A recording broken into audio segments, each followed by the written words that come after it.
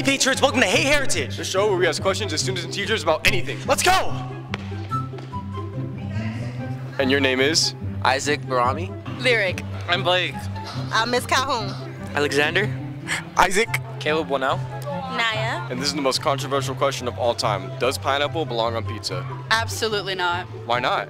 Because pineapple is like sweet and pizza has like that savory like thing, so it just doesn't sound good like mixing the two. It just Yeah. doesn't taste good. I agree. So what I truly believe is, is that pineapple does not belong on pizza.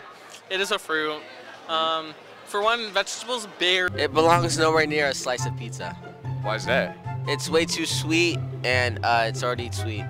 Absolutely not. Oh, why's that? I don't like fruit on my pizza. No, I don't either. Tell me about it.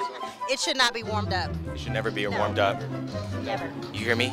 This should never be warmed I up. I mean, no, it is sweet. It is sweet. is sweet. Okay, and it's not savory. And pizza is like definitely like a savory. Yeah, Why's that? uh, because I like the flavor of it. You like the flavor of it? How savory it is? Yeah. What about you? Pineapple does not belong on pizza Why's that? because it's just gross. It's nasty. It's mushy. It's, no It's very mushy.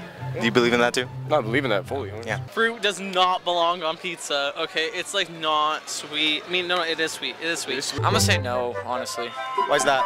because it's just like it's, a, it's kind of like it'll like overpower the pizza, and it just doesn't make it taste good anymore. Pizza was started in Italy, right? Okay, Italy's in Europe.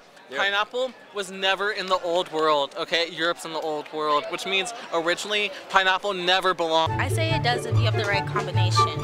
If you have something that's savory and sweet, it works out good. If it's like with pepperoni, that's gross. What's your problem? But if it's like ham, you're good. It's a good sweet and savory. historically on pizza.